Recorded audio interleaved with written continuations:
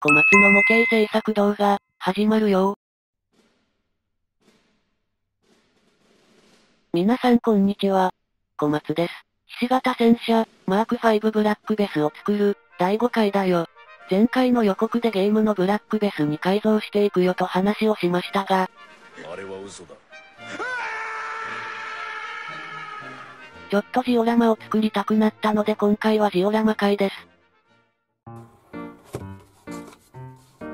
ジオラマのベースはアートボックスという額縁を使います。厚みのある額縁でサイズも色々あり、木工が苦手な小松はよく使っています。まずはネジを外して金属部品を外します。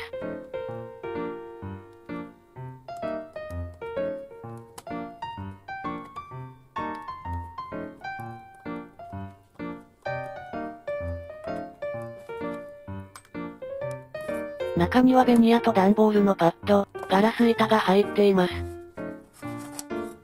さらに周囲は木の板で囲われているのでこれも外します。ガラスを外したら外周に木工用のボンドを塗ります。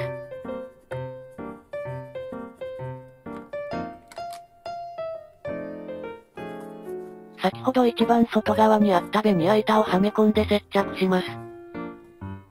さらに外周にボンドを塗り、先ほど外した板を取り付けます。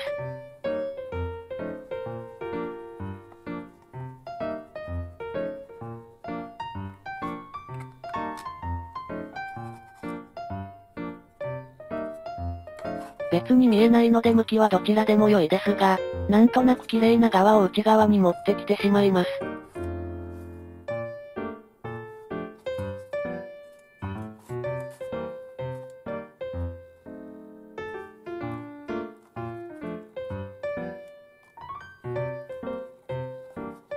これで台座ができました。今回はジオラマで残壕を再現します。高さを確保するためタミヤのプラプレートを使って壁を作ります。まずはあまり気にせず半分にカット。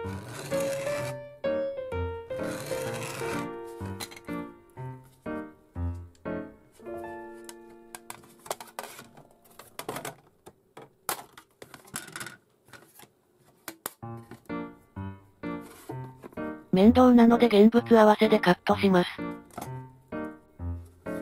カットしました。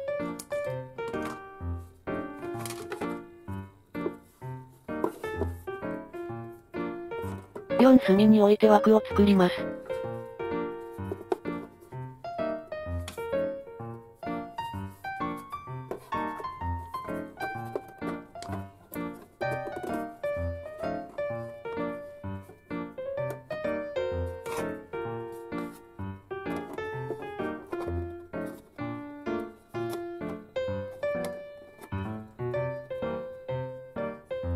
接着には瞬間接着剤を点付けした後、流し込み接着剤できっちり固定してやります。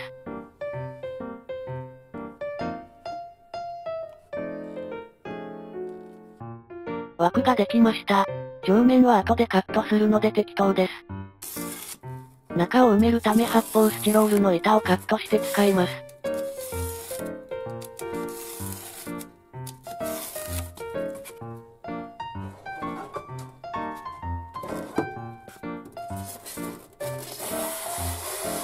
この音が苦手な方はごめんなさい。今思えばスタイロフォームにすればよかったのですが、ちょうど買った組み立て家具についていたので使ってみました。発泡スチロール捨てるの面倒なんですよね。残壕をざっくりとイメージしながら切っていきます。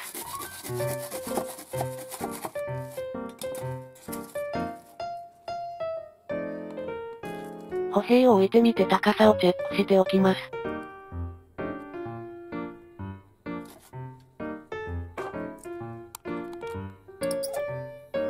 大体形が出たらプラプレートの側面を断面に合わせてカットしていきます。最近買いましたが超音波カッターの出番です。ノコギリなどではなかなか綺麗に曲線が切れませんが、超音波カッターであればかなり楽にカットできます。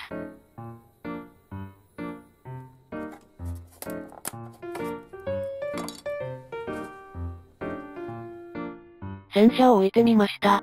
もうちょっと躍動感が欲しいかな。躍動感については後で考えるとして、プラプレートの合わせ面を瞬間効果パテで埋めておきます。隙間が大きいので厚めに塗りました。硬化したらヤスリがけをして表面処理をします。この時台座の枠は養生テープなどでマスキングしておく方が良いです。さて地面を作っていきます。水にボンドを溶かしてボンド水を作ります。そこにティッシュペーパーを浸して先ほど作ったベースに貼っていきます。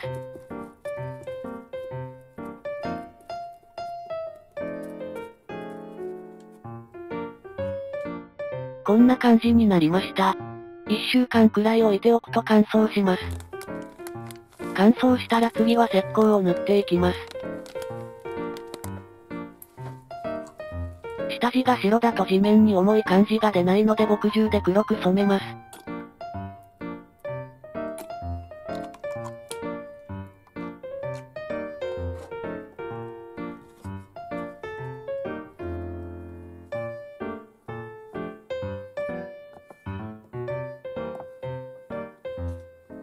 この石膏を塗っていきます。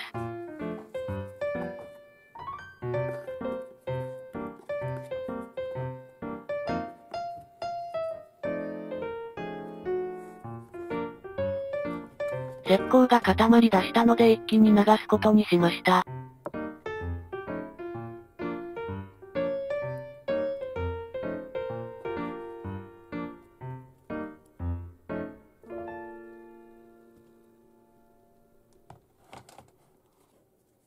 なんとか効果前に塗れそうです。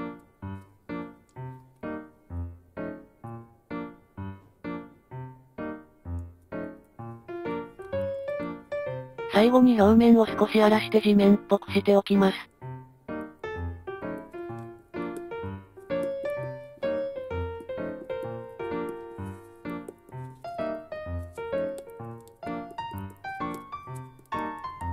荒くしすぎました。硬化後に少し削った方が良いかもしれません。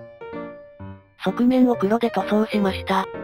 下地ができましたので次回残号を作っていきます。今回はここまで。ご視聴ありがとうございました。